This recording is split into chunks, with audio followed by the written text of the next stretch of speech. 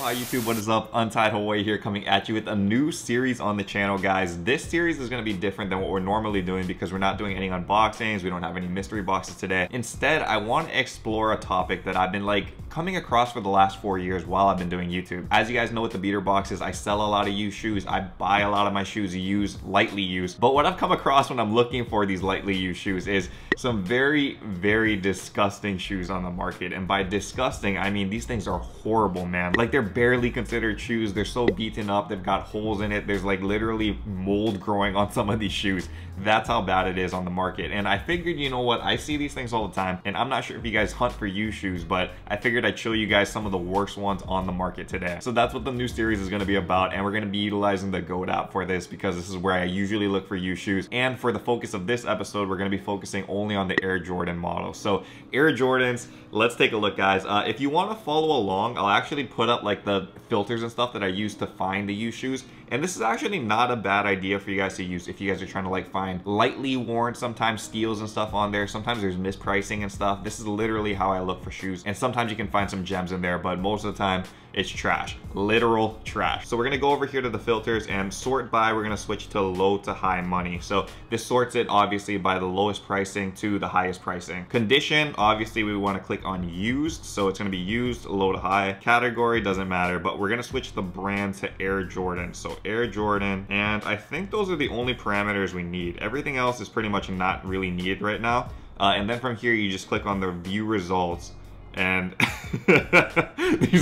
it's already looking pretty bad. So again, this is all Air Jordan focused, and this is what I mean on some of these U shoes, dude. Uh, we'll start off with this Air Jordan 7 Bordeaux 2011. God, like, look at this. Look at this. Look at how bad this thing is, man. So again, because it's a U shoe, you can pretty much sell it for any price you want. And I will say there's a disclaimer. The lowest price that you can put on GOAT for U sneakers or even new sneakers is $25. That's the lowest they're going to take. So this tell me, would you buy this shoe for $25? Like, look at this, this is horrible. The Bordeaux 7 is obviously a very popular model, but when you're looking at this, oh my gosh, it just gets so bad. Like this first picture, dude, this is not good. That is not good. So beaten up, the suede's worn down. This thing has seen better days, cracks in the shoe. If you look on that back one over there, it looks like there's a tear in the back heel as well. Gosh, okay, and the top, you know, the top picture's not that bad, so that's not too bad at all. check out this back picture. Oh my god. Why is the left shoe like that and the right shoe is a little bit cleaner? That doesn't make any sense to me. If you guys want to spend 25 bucks on these, I mean, it's available. And this is the kind of stuff that I'm talking about, dude. There's some really disgusting shoes on here.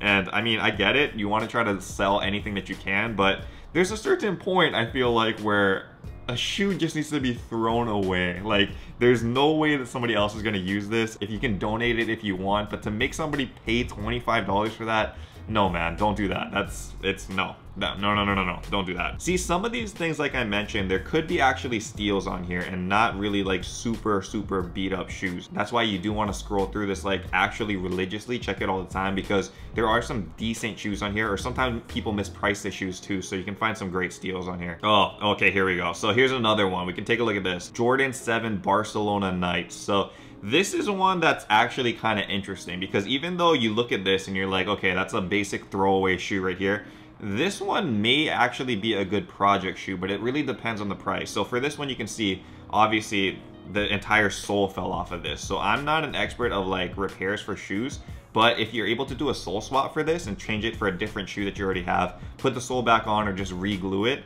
uh, this might be a good steal because it's $25, but right now as it is, I mean, it's not even a shoe because the sole is literally separated from the shoe. And if you look at the second shoe, this one's about to separate as well. So yeah, again, this is not a wearable sneaker. It's on there, I'm guessing, in case you want to do a sole swap or try to reglue, but yeah, that's another one, $25 for a thing that's broken in half. So what are we looking at over here? Jordan 5 DG Pro Stars. What is this? I think this is like a painted custom shoe or something. This this is weird. So this is another one that you see a lot on this like U shoe section.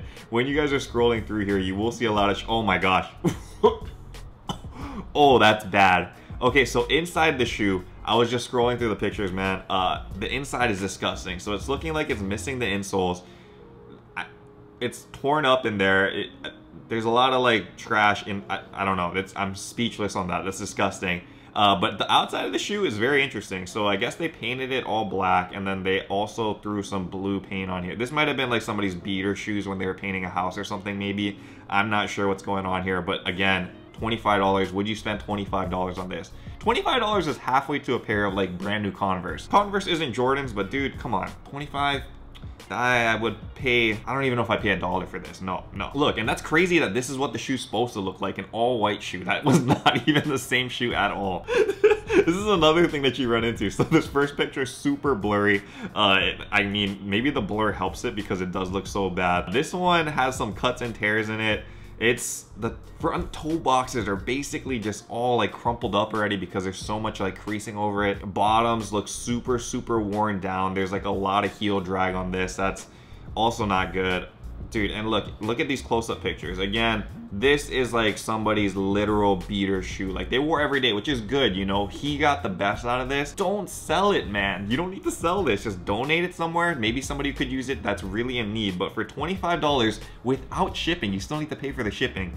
That would come out to like 30, 40 bucks. And I don't know, for that, come on come on let's let's be realistic here. That's not a good shoe. I'm assuming this is not a real sneaker guys. So if you look at this it's called a jordan true flight right?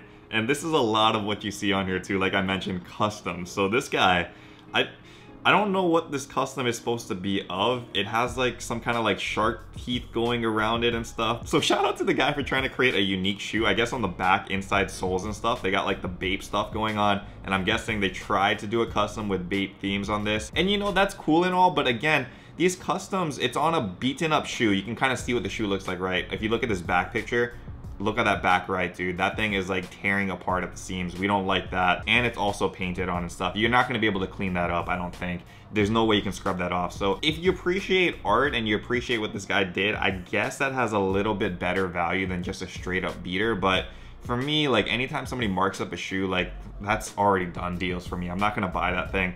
This one, he tried his best. There's not some, there's some pretty decent art on here, but $30 plus shipping would you pay 40 50 bucks for this? I don't i don't know. And so this is another weird one. So for me I'm not somebody that wears slides. I know a lot of people in the mainland wear slides with socks and all of this stuff. We don't really wear slides here. We just wear straight up slippers, local slippers. Uh, this is a Jordan Hydro 6 called the Black Gold, I guess. This is really bad. So again, like because somebody was wearing this, I'm not sure if their bare feet were in here. One of the nice things about U shoes is when you're wearing shoes, you know that at least the person was hopefully wearing socks. Even if he wasn't, you can wear socks over it. This one, this guy might have been wearing it in his bare feet, which is pretty gross. Uh, you can see that it's been worn quite a bit. It's very, very depressed in, so you guys know like the shape of this guy's foot or whatever was like stepping on this quite a lot because you can see like the toe prints and stuff. Gross. And also these bottoms are just completely worn out. There's like no traction on here at all. And yeah, dude, like again, this for $37. I don't know. See, this is another thing. If it's just a pair of slides, do you really think somebody's gonna rebuy these things when they're super used like that? I don't think that's a thing. so, so here's another interesting one. And this is where it starts to get weird, right? Like the $25 range, okay, we understand like that's the lowest you can put. There's definitely gonna be some ugly ones there. What really like takes the cake for me and what really floors me is when people start to put it for over whatever the lowest price you can ask for on there. So for this one, a Jordan Fire Red 2006, this person's asking for $50 for this pair. Look at this. This is not even a shoe anymore. I understand that you can pretty much repair any sneaker, but at this point, this thing is beyond repair in my opinion. There's huge scuffing up there.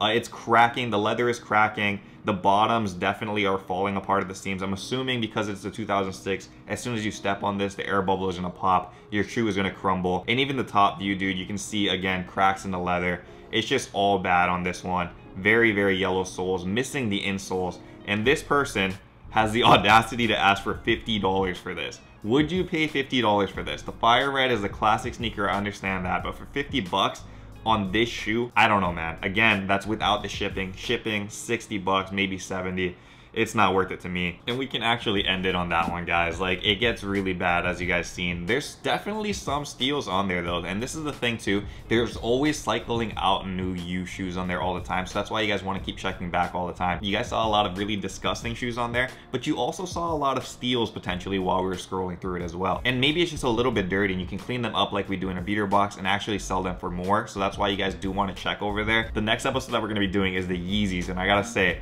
Jordans, they can kind of hold like their shape and their look for a very long time. But on the other hand, Yeezys can be very, very disgusting after they've been used. And you guys will see there's some destroyed shoes on the market for Yeezys. And the prices that they're trying to sell them for absolutely ridiculous. That will be on the next episode, and I hope you guys enjoyed this one. Definitely something a lot different from the channel, but I figured I'd just let you guys see into the world of used shoes and see what some people are actually putting out there in the market. It's insane. Don't be that guy. If the shoe is trash, throw it in the trash. Anyway, thank you guys so much for watching this episode, and I hope you guys enjoyed it. If you guys did, don't forget to hit that like button before you guys leave. And as always, guys, until next time, stay humble, stay blessed, take care, and I will see you on the next episode. Aloha. Shoots!